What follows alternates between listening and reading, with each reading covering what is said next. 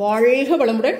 Welcome to TNPSC stars student zone students இன்றைக்கி உங்களுக்கான video eighth standard social first lesson ஹிஸ்ட்ரியில் advent of the Europeans இதுக்கான mind map தான் பார்க்க போகிறோம் ப்ளஸ் கன்சல்டேஷனோட சேர்த்து தான் நம்ம பார்க்க போகிறோம் தமிழுக்கு மற்ற எல்லா சப்ஜெக்ட்டுக்கும் பார்த்தீங்கன்னா தமிழ் மீடியம் ஸ்டூடெண்ட்டுக்கு நம்ம நிறைய மைண்ட் மேப் கொடுத்துருக்கோம். எல்லா லெசனும் சோஷியல்லாம் பார்த்தீங்கன்னா எல்லா லெசனுக்கும் கொடுத்துருக்கோம். தமிழுக்கு பார்த்தீங்கன்னா கொடுத்துருக்கோம். அது மட்டும் இல்லை எல்லா ஸ்டாண்டர்டுக்கும் நம்ம சிக்ஸ்த்துலேருந்து டென்த்து வரைக்குமே நம்ம மைண்ட் மேப் கொடுத்துட்டு தான் வந்துட்டுருக்கோம் இங்கிலீஷ் மீடியத்துக்கு கொஞ்சம் ரேரான வீடியோ தான் இருக்கும். இனி வரக்கூடிய வீடியோக்குள்ளே உங்களுக்கு எல்லா லெசனுக்குமான மைண்ட் மேப் அடுத்தடுத்து உங்களுக்கு கொடுத்துக்கிட்டே இருப்பேன். ஸோ இப்போ ஃபர்ஸ்ட் லெசனுக்கான மைண்ட் மேப் பார்க்கலாம் வித் கன்சல்டேஷனோட சத்யா? எதுக்காக மைண்ட் மேப்க்கு இவ்வளோ இம்பார்ட்டன்ஸ் கொடுக்குறாங்க அப்படிங்கிறத நம்ம தெரிஞ்சுக்கலாம். மைண்ட் மேப் அப்படிங்கிறது என்ன? ஒட்டுமொத்த லெசனுடைய சுருக்கமான ஒரு விஷயம் தான் மைண்ட் மேப் அப்படிங்கிறது. மன வரைபடம் அப்படின்னு சொல்கிறோம் இல்லைங்களா? அப்போ இது பார்த்தீங்கன்னா பார்த்தோன்னே இதுதான் விஷயம். இவ்வளோதான் இந்த லெசனில் ஃபுல்லாக இருக்கக்கூடிய விஷயம். இம்பார்ட்டண்டான விஷயம். மைண்ட் மேப் அப்படிங்கிறது எதையோ ஒன்றை வச்சு உருவாக்கிறது கிடையாது. ஒட்டுமொத்த லெசன்லையும் எந்தெந்த பாயிண்ட்லாம் இம்பார்ட்டண்டான விஷயமா இருக்குது அப்படிங்கிறத வச்சு உருவாக்கக்கூடிய ஒரு விஷயம்தான். இது நம்மளுக்கு two mark one mark five mark எல்லாத்துக்குமே நம்மளுக்கு ரொம்ப யூஸ்ஃபுல்லாக இருக்கும். இது எக்ஸாமுக்கு போகிறதுக்கு லாஸ்ட் மினிட்ல சும்மா ஜஸ்ட் ஒரு கிளான்ஸ் பார்த்தீங்கன்னாவே உங்களுக்கு அப்படியே புரிஞ்சிடும் அதுக்காக தான் உங்களுக்கு இந்த அளவுக்கு இம்பார்ட்டன்ஸ் கொடுக்க சொல்கிறாங்க மைண்ட் மேப்க்கு அது மட்டும் இல்லை இது போக போக இன்னும் ஹையர் லெவல் ஸ்டடீஸ்க்குலாம் போக போக உங்களுக்கு வந்து இது ரொம்ப ஈஸியாக இருக்கும். எப்படி உருவாக்கணுங்கிற மெத்தட் தெரிஞ்சிருச்சு அப்படின்னா நீங்கள் காலேஜ் லெவலில் யூஜி பிஜி இந்த மாதிரி எந்த லெவலில் நீங்கள் படிக்கும் பொழுதும் அப்படியே டக்குன்னு ஒரு நோட்ஸ் எடுக்கிறதுக்கு ரொம்ப யூஸ்ஃபுல்லாக இருக்கும். இந்த மாதிரியான எக்ஸசைஸ் நீங்கள் பண்ணும் பொழுது. சரியா? ஓகே குட்டீஸ். ஃபர்ஸ்ட் பார்க்கலாம். அட்வென்ட் ஆஃப் த யூரோப்பியன்ஸ் இந்தியாவில் ஐரோப்பியர்களின் வருகை அப்படின்னு சொல்லுவோம். சரியா? எத்தனை யூரோப்பியன் கண்ட்ரிஸ் இந்தியாவுக்கு வந்துச்சு அப்படின்னு பார்த்தோம்னா Portuguese Dutch British French Danish இவங்க வந்தாங்க. ஓகே ஃபஸ்ட்டு வந்த கண்ட்ரி யார்? போர்ச்சுகீஸ் போர்ச்சுகீஸ் தான் first European to visit India first European country யார்? போர்ச்சுகீஸ் தான் வந்தாங்க. போர்ச்சுகீஸில் இதில் நம்ம முக்கியமான விஷயம் பார்க்குறது என்ன அப்படின்னு பார்த்தீங்கன்னா Vasco da Gama reached Calicut fourteen ninety எயிட்டில் வந்தார். Francisco de Almeida blue water policy blue water policy நீல நீர் கொள்கை அப்படின்னு சொல்லுவோம் சரியா? பிரான்சிஸ்கோ டி அல்மைடா தான் இந்தியாவில் வந்து போர்ச்சுகீசிய ஆதிக்கம் அப்படிங்கிறத நிலைநாட்டுவதற்கு அடித்தளம் அமைச்சவர் யாரு அப்படின்னு பார்த்தோம்னா பிரான்சிஸ்கோ டி அல்மைடா இவர் உருவாக்குன அந்த பாலிசி என்ன? ப்ளூ வாட்டர் பாலிசி அடுத்தது அல்புகர் த ரியல் ஃபவுண்டர் உண்மையிலேயே இங்கே போர்ச்சுகீசிய ஆதிக்கத்தை இந்தியாவில் நிலைநாட்டினவர் யாரு அப்படின்னு பார்த்தோம்னா அல்புகர் ஆனால் ஃபர்ஸ்ட் போர்ச்சுகீஸ் இந்தியாவில் இருக்கிறதுக்கு காரணகர்த்தாவாக இருந்தது யார் அப்படின்னு பார்த்தோம்னா பிரான்சிஸ்கோ டி அல்மைடா ஓகே அடுத்தது நினோடி குன்கா நினோடி குன்கா கடைசியாக இருந்தவர் ஓகே இவரை தொடர்ந்து அடுத்தது இந்த இங்க இருந்தவர் ஓகே இவங்க போர்ச்சுகீஸ் இன்ட்ரடியூஸ் பண்ணது டபாக்கோ இந்தியாவில் புகையிலை சாகுபடியை உற்பத்தி பண்ணது ஃபஸ்ட்டு இன்ட்ரடியூஸ் பண்ணது யார் அப்படின்னு பார்த்தோம்னா போர்ச்சுகீஸ் தான். பிரிண்டிங் ப்ரெஸ் ஃபிஃப்டீன் ஃபிஃப்டி சிக்ஸில் பிரிண்டிங் ப்ரெஸ்ஸும் யார் அறிமுகப்படுத்தினாங்க? போர்ச்சுகீஸ் தான். இதெல்லாம் பார்த்தீங்கன்னா ஒன் மார்க் கொஷின் சரியா? அடிக்கடி ரிப்பீட்டாக கேட்டுக்கிட்டே இருக்கக்கூடிய கொஷின் என்ன? அல்புகர் த ரியல் ஃபவுண்டர் போர்ச்சுகீஸினுடைய ரியல் ஃபவுண்டர் யார் அப்படின்னு கேட்பாங்க அல்புகர். ஓகே அதே மாதிரி ப்ளூ வாட்டர் பாலிசி இது எல்லாமே என்எம்எம்எஸ்க்கு ட்ரஸ்ட்டுக்கு இதுக்கு எல்லாமே என்னது? One mark question very very important question உங்களுக்கும் அதாவது ஸ்கூல் எக்ஸாமுக்கும் சரி என்எம்எம்எஸ் ட்ரஸ்ட்டுக்கும் சரி கண்டிப்பாக ரொம்பவே யூஸ்ஃபுல்லாக இருக்கும் இது இந்த இது எல்லாமே one mark introduced tobacco first printing press இது எல்லாமே ஓகே ஸோ போர்ச்சுகீஸ் அப்படின்னு பார்க்கும் பொழுது நம்ம சுருக்கமாக பார்க்கும் பொழுது இது மட்டும் நம்மளுக்கு பாயிண்ட்ஸ் இருந்தால் போதும் அடுத்தது யார் வந்தாங்க போர்ச்சுகீஸை தொடர்ந்து இந்தியாவுக்கு வந்தது யார் டச்சு டச்சில் முக்கியமான விஷயம் நம்ம பார்க்கணும்னா the United East India Company of Netherlands sixteen nought two okay? கிழக்கிந்திய கம்பெனி அப்படின்னு சொல்லுவோம். ஸோ இது இந்தியாவில் உருவாக்குன அந்த டைம் என்ன அப்படின்னு பார்த்தோம்னா சிக்ஸ்டீன் நாட் டூவில் டச் இங்கே ட்ரேட் சென்டர்ஸும் கொஞ்சம் உருவாக்கி இருந்தாங்க. அடுத்து இவங்களுடைய இம்பார்ட்டன்ட் ஃபோர்ட் என்ன அப்படின்னு பார்த்தோம்னா கில்ரியா ஃபோர்ட் இது எங்கே இருக்கு? புள்ளிக்கர். ஓகே அடுத்து யூரோப்பியன் கண்ட்ரி என்ன அப்படின்னா British visit of Sir Thomas Roe in India trading centre இவங்களுடையது Surat Agra Ahmedabad Broach forts important forts இவங்களுக்கு என்னென்ன fort Fort Saint George Fort William okay so pretty ஒட்டுமொத்தமாக நம்ம பிரிட்டிஷை பற்றி ஒரு சுருக்கமான விஷயம் தெரிஞ்சுக்கணுன்னா இவ்வளோதான் இன்னும் அதிகமாக இருக்குது அது கன்சல்டேஷனில் நம்ம போகும்பொழுது இன்னும் கொஞ்சம் நல்லா தெளிவாக உங்களுக்கு புரிய வரும். அதை அப்போ நம்ம இன்னும் டீப்பாக போகலாம் ஓகே அடுத்தது டேனிஸ் பிரிட்டிஷ்க்கு அடுத்தது வந்தது டேனிஸ் ஓகேவா இப்போ டேனிஸ் பற்றி சுருக்கமாக நம்ம தெரிஞ்சுக்கக்கூடிய விஷயங்கள் என்ன அப்படின்னு பார்த்தோம்னா Danish East India Company sixteen சிக்ஸ்டீனில் start பண்ணாங்க. ட்ராங்குபர் செராம்பூர் இவங்களுடைய ஹெட் குவார்ட்டர்ஸாக இருந்துச்சு. Sold to the British eighteen forty five so பிரிட்டிஷ்க்கு eighteen forty ஃபைவ்ல முழுசாக கொடுத்துட்டு கிளம்பிட்டாங்க. அவ்வளோதான் முடிஞ்சிச்சு டேனிஸோடது பீரியடு எயிட்டீன் ஃபார்ட்டி ஃபைவோட இவங்க முடிஞ்சுது. வந்தது சிக்ஸ்டீன் சிக்ஸ்டீன் முடிச்சுக்கிட்டது எயிட்டீன் ஃபார்ட்டி ஃபைவோட முடிஞ்சிச்சு. ஓகே ட்ராங்குபர் ட்ராங்குபருக்கு இன்னொரு நேம் தமிழில் என்ன சொல்லுவோம்? தரங்கம்பாடி. ஓகேவா அதான் ட்ரங்க்பர் அப்படிங்கிறது. நெக்ஸ்ட் பார்த்தீங்கன்னா French French East India Company sixteen sixty ஃபோரில் ஸ்டார்ட் பண்ணாங்க. இவங்களுடைய ட்ரேடிங் சென்டர்ஸ்லாம் என்னென்ன? மாஹி காரைக்கால் பாலசூர் கசிம் பசார் பாண்டிச்சேரி. இவங்களுடைய இம்பார்ட்டன்ட் செட்டில்மெண்ட் ஏரியாவா இருந்தது என்ன அப்படின்னு பார்த்தோம்னா செட்டில்மெண்ட்னா என்ன? குடியேற்ற பகுதியாக இருந்தது. பிரெஞ்சினுடைய மிக முக்கியமான குடியேற்ற பகுதி எது? பாண்டிச்சேரி. இந்த பாண்டிச்சேரியில தான் இவங்க செயின்ட் லூயிஸ் ஃபோர்ட் அப்படிங்கிற இந்த கோட்டையை கட்டினாங்க. யார் கட்டினது? ஃப்ரெஞ்சு அப்போ ஃப்ரெஞ்சினுடைய பிரெஞ்சு காலகட்டத்தில் பிரெஞ்சினுடைய ஆட்சி காலகட்டத்தில் கட்டப்பட்ட கோட்டை எது? செயின்ட் லூயிஸ் ஃபோர்ட் எங்கே? பாண்டிச்சேரி. இந்த கோட்டைகள் அதாவது இந்த ஃபோர்ட்டு இது எங்கே கட்டப்பட்டது? யாருடைய பீரியடில் இது கட்டப்பட்டுச்சு? இது எல்லாமே நம்மளுக்கு கொஷின் ஓகேவா இதெல்லாம் தெரிஞ்சுக்கணும்.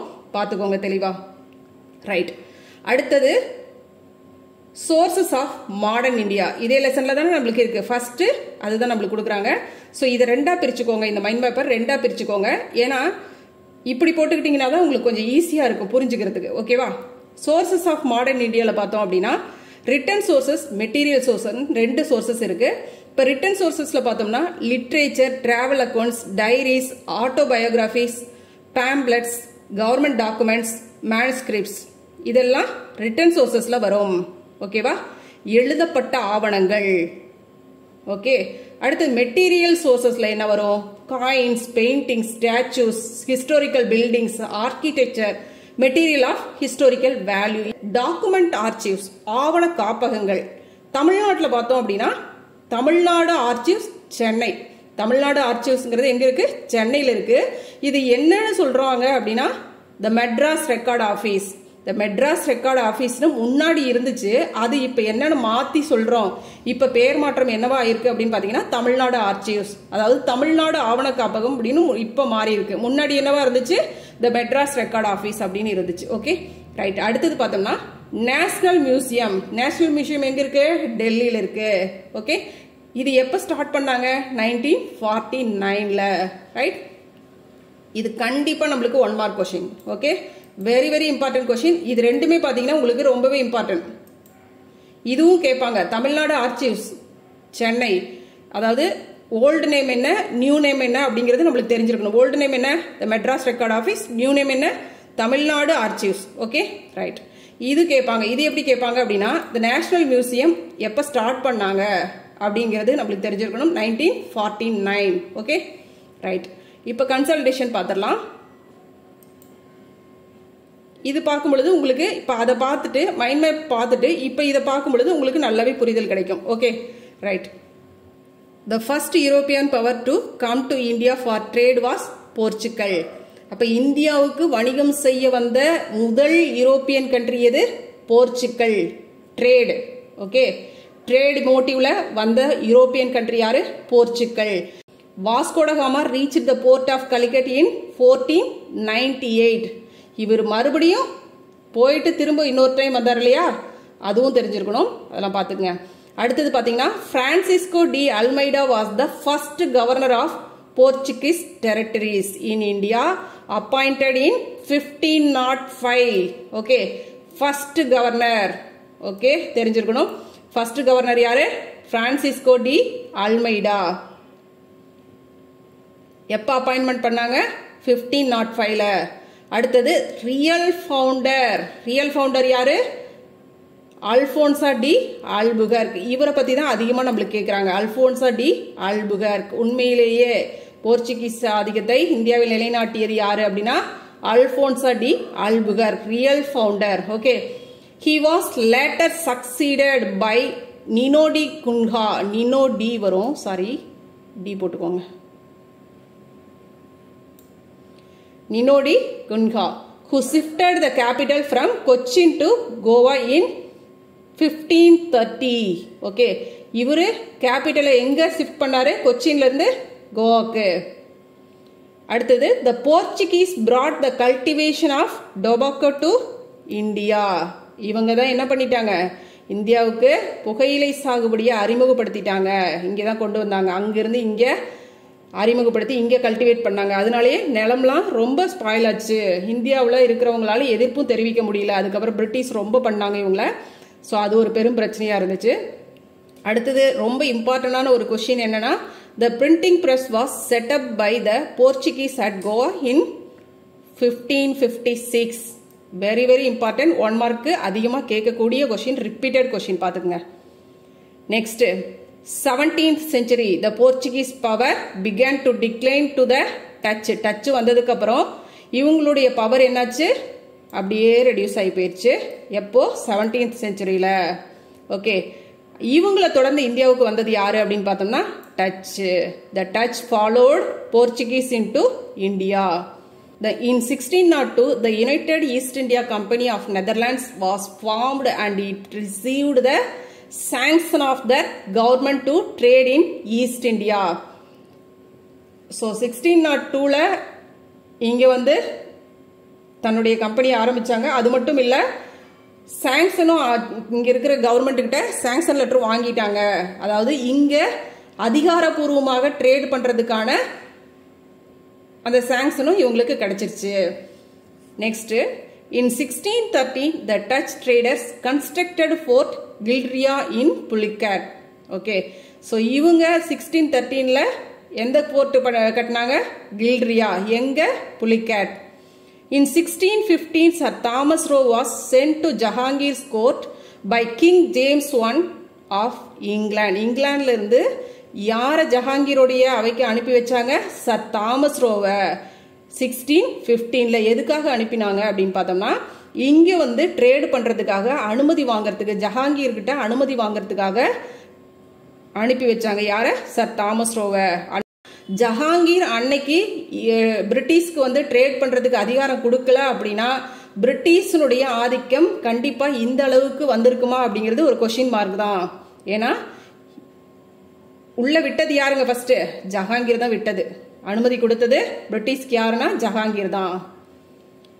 He obtained trading rights in Jahangir's domain so யார் ரைட்ஸ் கொடுத்தது? ஜஹாங்கீருடைய டொமைன் தான். The English had established their trading centres at Surat Agra Ahmedabad and Broach so இவங்க தங்களுடைய ட்ரேடிங் சென்டரை எங்கெல்லாம் எஸ்டாப்ளிஷ் பண்ணிட்டாங்க? Surat Agra Ahmedabad ப்ரோச்சில் the English constructed forts in India Fort Saint George in Madras Fort Saint David Cuddalore Fort William in Calcutta so இதெல்லாம் நீங்கள் இப்போ மெட்ராஸுங்கிறது Chennai at present நம்மளுக்கு என்னென்னு நம்ம சொல்கிறோம் சென்னை பெயர் மாற்றம் லீகலாகவே ஓகேவா ஸோ நம்ம இதை போடணும்னு அவசியம் இல்லை. நான் உங்களுக்கு தெரியணுங்கிறதுக்காக சொல்கிறேன் அதே மாதிரி டேவிட் இன் கூடலூர் உங்களுக்கு புக்கில் கொடுக்கல. இதை நீங்கள் ஜஸ்ட் தெரிஞ்சுக்கோங்க ஓகேவா இது நீங்கள் எழுதணுன்ற அவசியம் இல்லை. ஆனால் இங்கிலீஷ் தான். இங்கிலீஷ் பிரிட்டிஷ் பீரியடில் தான் இது வந்து கன்ஸ்ட்ரக்ட் பண்ணாங்க. ஸோ இது ரெண்டு மட்டுமே நீங்கள் எழுதிக்கோங்களேன் English constructed forts in India Fort Saint George in Madras Fort William in Calcutta ஓகேவா கல்கட்டாங்கிறது இப்போ என்னது? கொல்கட்டா ஓகே இதெல்லாம் தேவையில்லை. எழுதுறது ஜஸ்ட் தெரிஞ்சுக்கோங்க அவ்வளோதான் ரைட் அடுத்தது on March seventeen sixteen sixteen the King of Denmark Christian four issued a charter and created a Danish East India Company so King King Denmark அதாவது கிறிஸ்டியன் ஃபோர் இவர் வந்து ஒரு பட்டயம் சார்ட்டர்னா என்னன்னு பார்த்தீங்கன்னா பட்டயம். அந்த பட்டயத்தை வெளியிட்டாரு. அதன் மூலமாக இந்தியாவில் ஈஸ்ட் இந்தியா கம்பெனி உருவாக்கப்பட்டுச்சு. செராபூர் அப்படிங்கிறது தான் யாருடைய ஹெட் குவார்ட்டராக இருந்துச்சு அப்படின்னு பார்த்தீங்கன்னா டேனிஸினுடைய ஹெட் குவார்ட்டர் தலைமையகம் அப்படின்னு சொல்லலையா அதுதான் டேனிஷினுடைய ஹெட் குவார்ட்டர் எது? Serampore they sold all their settlement in India to the British in eighteen forty five so Danish பார்த்தீங்கன்னா எயிட்டீன் ஃபார்ட்டி ஃபைவ்லேயே தன்னுடைய எல்லா குடியேற்ற பகுதிகளையும் செட்டில்மெண்ட்னா என்னன்னு பார்த்தீங்கன்னா குடியேற்ற பகுதிகள். ஸோ எல்லா குடியேற்ற பகுதிகளையும் யாருக்கு கொடுத்துட்டு போயிட்டாங்க? பிரிட்டிஷ்க்கு எல்லாத்தையும் வித்தாச்சு கொடுத்தாச்சு. French India Company was formed in 1664 by Carpet. St. Louis Fort was constructed in Pondicherry by Francois Martin. So French பீரியடில் கட்டப்பட்ட அந்த கோட்டை ஃபோர்ட் என்ன ஃபோர்ட் அப்படின்னு பார்த்தோம்னா செயின்ட் லூயிஸ் ஃபோர்ட்டு யாரால் இது கட்டப்பட்டுச்சு அப்படின்னு பார்த்தோம்னா ஃப்ரான்காய்ஸ் மார்டின் எங்க? பாண்டிச்சேரியில் ஓகேவா அதே மாதிரி இவங்களுடைய இம்பார்ட்டன்ட் செட்டில்மெண்ட் ஏரியா என்னவா இருந்துச்சு அப்படின்னு பார்த்தோம்னா பாண்டிச்சேரி தான். ஓகே ஸோ இது போதும். முடிஞ்ச அளவுக்கு நம்ம வந்து இதில் குறைச்சி தான் கொடுத்துருக்கோம். இதுக்கு மேலே நம்மளால் குறைக்க முடியாது. ஓகேவா அவ்வளோதான் ஏன்னா இதில் பார்த்தோம்னா பிரிட்டிஷ்க்கு தான் நம்ம அதிகமாக சொல்கிறதுக்கான விஷயங்கள் இருக்குது இவங்களுக்கும் இருக்குது பட் இது வந்து உங்களுக்கு கொஸ்டினில் படிக்கும்போது தெரியும். சிம்பிளாக நம்மளுக்கு எது ரொம்ப இம்பார்ட்டன்ட் அப்படின்னு பார்த்தோம்னா இதெல்லாம் தான். அதனால தான் இதை மட்டும் கொடுத்துருக்கேன். நெக்ஸ்ட் பார்த்தீங்கன்னா the sources for the history of modern India help us to know the political socio economic and cultural developments in the country இதில் டூ டைப்ஸ் ஆஃப் சோர்சஸ் இருக்குது என்னென்ன? Written sources and material sources ஏற்கனவே நம்ம mind மேப்லேயே பார்த்தோம். என்னென்ன return சோர்சஸில் வரும்? எது எதெல்லாம் மெட்டீரியல் சோர்சஸில் வரும்ன்ட்டு. The Indian National Archives is currently located in New Delhi the Madras record office presently known as Tamil Nadu archives it is located in Chennai ஓகேவா